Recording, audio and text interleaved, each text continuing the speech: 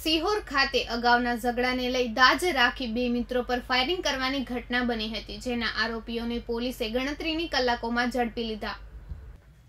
સિહોરના લીલાપીર વિસ્તારમાં અગાઉના ઝઘડાની દાજમાં યુવાન અને તેના મિત્ર પર એક એક રાઉન્ડ ફાયરિંગ કરી નાસી ગયેલા સિહોરના શખ્સને પોલીસે ગણતરીના કલાકોમાં જ હથિયાર અને એક જીવતા કારતૂસ સાથે ઝડપી લીધો હતો.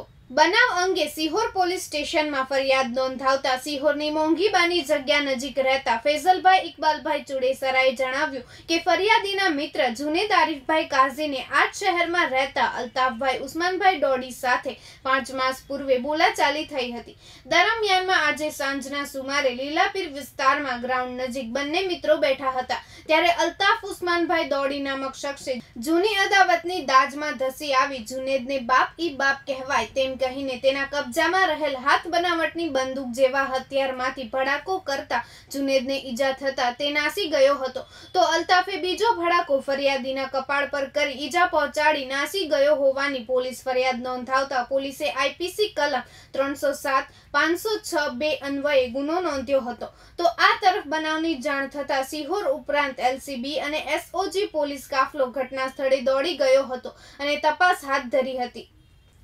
જ્યારે આ ફાયરિંગમાં ઈજા પામેલ ફૈસલભાઈને સારવાર અર્થે હોસ્પિટલ ખસેડવામાં આવ્યા હતા. પોલીસે ગણતરીના કલાકોમાં જ ગૌતમેશ્વર મંદિર જવાના માર્ગ પરથી અલ્તાફ ઉસ્માનભાઈ દોડીને હાથ બનાવટની દેશી બંદૂક અને એક જીવતા કારતૂસ સાથે ઝડપી લીધો હતો.